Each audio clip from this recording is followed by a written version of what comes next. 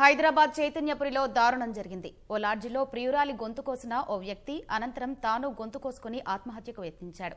గమనించిన స్థానికులు వారిని ఆసుపత్రికి తరలించారు. ప్రస్తుతం యువతి పరిస్థితి విషమంగా ఉన్నట్లు వైద్యులు చెబుతున్నారు. బాధితురాలు బడంపేటకు చెందిన మనస్వినిగా యువకుడు నెల్లూరుకు చెందిన వెంకటేష్గా పోలీసులు గుర్తించారు.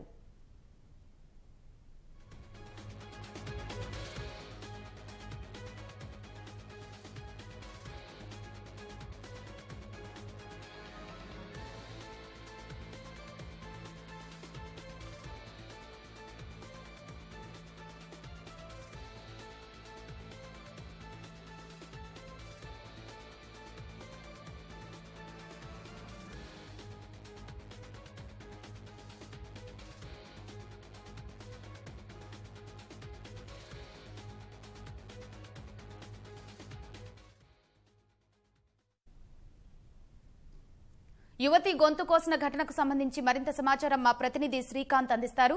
శ్రీకాంత్ చెప్పండి.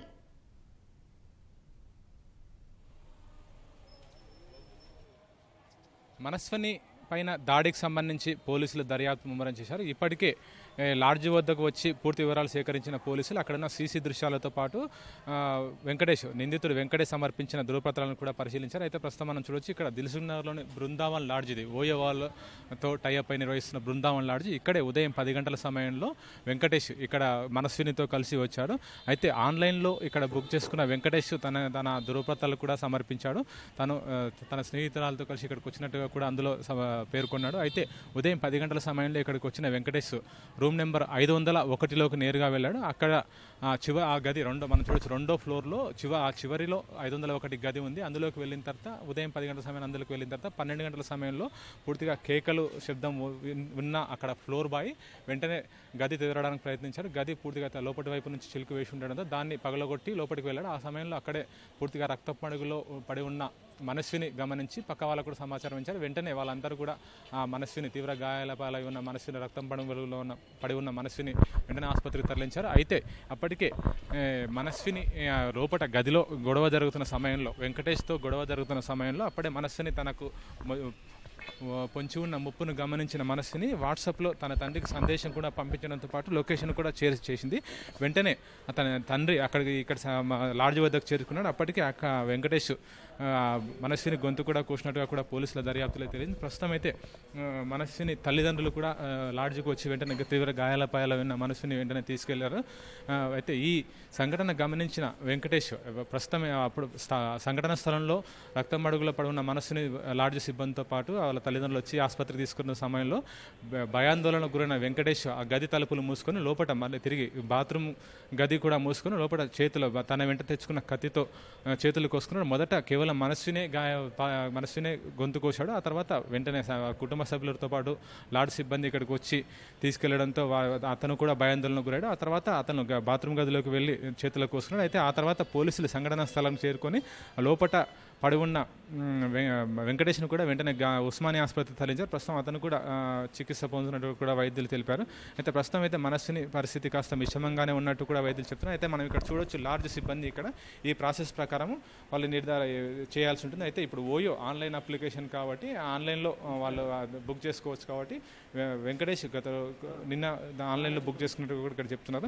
అయితే ఈరోజు ఉదయం ఇక్కడికి వచ్చాక పది గంటల సమయంలో ఇక్కడికి వచ్చాక అతని దూరపత్రాలు పరిశీలించాలి. ఓ- ఓలో voglio app వాళ్ళు నిర్ధారించుకున్న తర్వాత అక్కడ నుంచి తర్వాత ఇక్కడ వీళ్ళు సందం- ఎవరైతే లాడ్జ్ బుక్ చేసుకుంటారో వాళ్ళకి సంబంధించిన ధృవపత్రాలన్నీ పరిశీలించిన తర్వాతే గది కేటాయిస్తారు.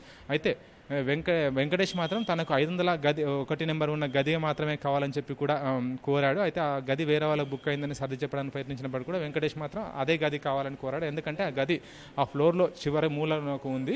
అయితే అక్కడ ఒకవేళ గొడవ పడ్డా కూడా ఏ సమాచారం ఎవరికి కూడా అందదనే ఉద్దేశంతో అతను ఆ గది కేటాయించుకున్నాడు. అయితే ఆ గదిలోకి వెళ్ళిన తర్వాత మొదట కాస్త కాసేపు బాగానే ఉన్న వెంకటేష్ ఆ తర్వాత మనస్సునితో గొడవ దిగినట్టు కూడా తెలుస్తుంది.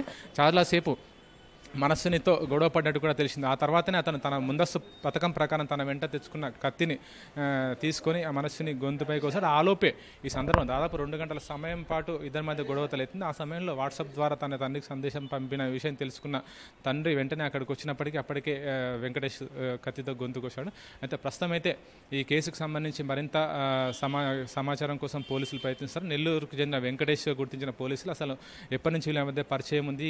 ఒకటేసారి ఇంత ఉన్మాదిగా మారి ఈ గొంతు కోయడానికి దారితీసిన పరిస్థితులు ఏంటి ఇద్దరి మధ్య గొడవకు తలెత్తడానికి కారణాలు ఏంటనే దానికి సంబంధించి కూడా పోలీసులు పూర్తిగా వివరాలు సేకరిస్తున్నారు. ఇప్పటికే వెంకటేష్ తల్లిదండ్రులకు కూడా సమాచారం ఇచ్చారు. అయితే మనస్విని తల్లిదండ్రుల నుంచి కూడా సమాచారం సేకరిస్తున్నారు. అయితే నెల్లూరుకు చెందిన వెంకటేష్ ఇక్కడ దిల్సునాలను ఒక వసతి గృహంలో ప్రైవేట్ వసతి గృహంలో ఉంటూ ఇక్కడ బ్యాంకింగ్ కోచింగ్ తీసుకుంటున్నాడు దిల్సునాలు ఇన్స్టిట్యూట్లో. అక్కడే మనస్విని బ్యాంకింగ్ కోచింగ్ తీసుకుంటున్న సమయంలో ఇద్దరి మధ్య కూడా పరిచయం ఏర్పడింది. ఆ స్నేహం మా ఇద్దరు మా ఇద్దరి మధ్య మాటలు కూడా మాట్లాడుకుంటున్న సమయంలో ఒకసారి ఒక్కసారిగా అతని ప్రవర్తన నచ్చక మనస్సుని అతను దూరం పెట్టడంతో అతను కక్ష పెంచుకున్నట్టుగా కూడా తెలుస్తుంది. అందులో భాగంగానే ముందస్తు పథకం ప్రకారం ఇక్కడ లాడ్జ్కి తీసుకొచ్చి తన వెంట కత్తి కూడా తెచ్చుకున్నాడు. అదైతే ఇదేమి ఊహించని మనస్సుని అతను తనతో అతనితో పాటు ఇక్కడ లాడ్జ్కి వచ్చింది.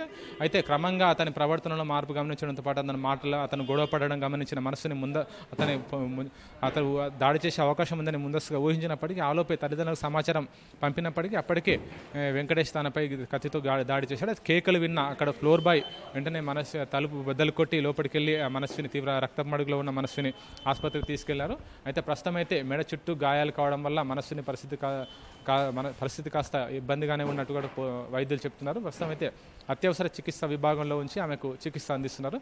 ఆమె తల్లిదండ్రుల నుంచి కూడా పోలీసులు సమాచారం సేకరిస్తున్నారు. ఓ టు స్టూడియో.